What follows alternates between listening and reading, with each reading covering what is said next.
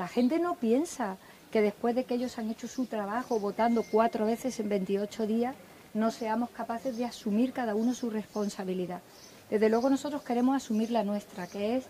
investir al presidente cuanto antes mejor, ahora en julio, presentar nuestro programa de gobierno, debatirlo con los demás, escuchar a los demás, entender también lo que otros grupos parlamentarios quieran decir y aceptar cosas que podamos aceptar porque sean compatibles y mejores que las nuestras. Vamos a hacer una queja al, Vaticano. Saldrá hoy o mañana como más tarde porque consideramos que ha sido una injerencia importante en asuntos de España, de estado en el que él está todavía de, de nuncio, es decir, de embajador del Estado Vaticano en la Santa Sede, completamente impropio.